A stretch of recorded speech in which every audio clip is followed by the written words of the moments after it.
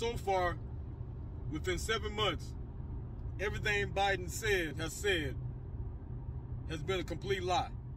I'm not gonna say I told y'all so, but I told you so. Within the last year or so, within when our president Donald J. Trump was in office, they tried to impeach our president. I believe over three different times over nothing. But now we're in the time where we have a president that has lied about everything within the last seven months of him being in office. I mean, I mean everything. Besides the point, it's way past if you're a Democrat or Republican at this point. I mean, to a certain degree, right? And this, and, and let me explain of kind of what since we ain't, you know, Biden took away all the police anyway. Talking of what's obvious, right? Everybody can see this. Like I said, it don't matter what party you you signed up for. You know what the business is just by looking at him speak at any given time. Last seven months and beyond, right? We all knew Biden wasn't all the way there. But y'all elected him anyway. But anyway, man, listen. Something else is going on. And I'm not quite, you know, I, am not a conspiracy theory type, but um, something is going on that we just don't understand or don't see or just don't know. I mean, let me say it like that. I feel it in my gut. I'm not making any claim. I'm saying that's my opinion. Because there's no way anybody, and this is my opinion. I'm trying to find the truth in Biden. Right? I am legitimately trying to find the truth in this boy. And I can't find one. Everything he says has been a lie. He told all black folks last year exactly how he feels about black people. And y'all voted him in anyway. Didn't get mad at me and other black Americans for supporting our President Trump for the realness that he brought. I know half y'all out there secretly is wishing y'all would have just been a little bit still and see what Trump was talking. We need to get this guy out of office before he destroys our country. Listen, our country is very fragile at this point, ladies and gentlemen. I know everybody can see it. You ain't even got to be in the politics to know that. We it's the Taliban, ISIS, hate America. They think we're the great Satan, right? Now they got a country they got one of the biggest games in the world at this point.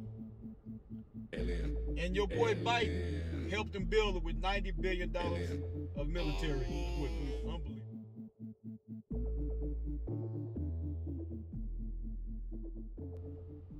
Listen, ladies and gentlemen, the first thing to do while I'm talking about the political thing,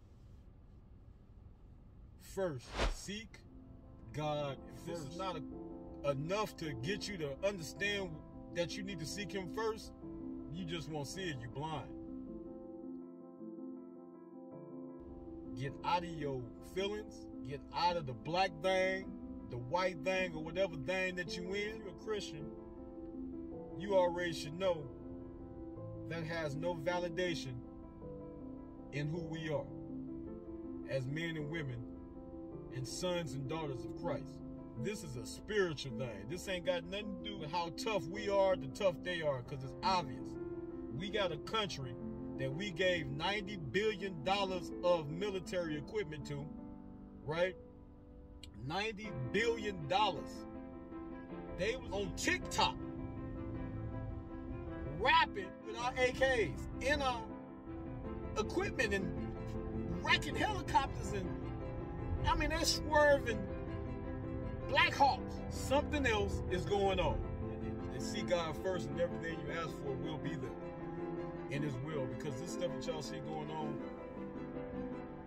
is something else. And I'm not even gonna get into like I have on my other previous videos. If you haven't watched them, I just had to chime in on this on We Gotta Talk the Talk. By the way, I also, ladies and gentlemen, I have another car channel. Auto Your Vision, like out of your vision. Check me out on YouTube. It's my other channel. Um, you know, I, I it, it's a car channel. I'm in Vegas. We're gonna be at different shows and stuff. I got a couple videos over there. Go over there and tell me what you think. Leave a comment, a like. You know, tell me what you think. We uh, we have a problem that we we need to really start focusing on, other than the stuff that we're focusing on in our country that's tearing us apart, especially when it comes to us tearing our own family up within and allowing for enemies around the world to come and just destroy us. It's a good way to become a socialist country. And if you don't know what that is, go look it up. As a matter of fact, look at North Korea. That's that that's socialism for all the ladies and girls, the guys and girls, and gents and female. Go look that up. It's Matthew 6:33. Y'all know what it is with me. I will talk to you next video. Go check me out on Out of Your Vision. And like I say, seek God first.